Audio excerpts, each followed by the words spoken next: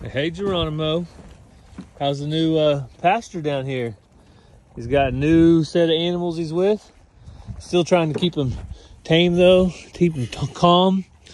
Oh, look at all that hair coming off. Looks like his uh, winter coat is starting to shed. What do you think, buddy? You still gonna be nice to me? You still gonna be nice to me? Oh, good job. Yeah. See, he's worried about them. He's not worried about me.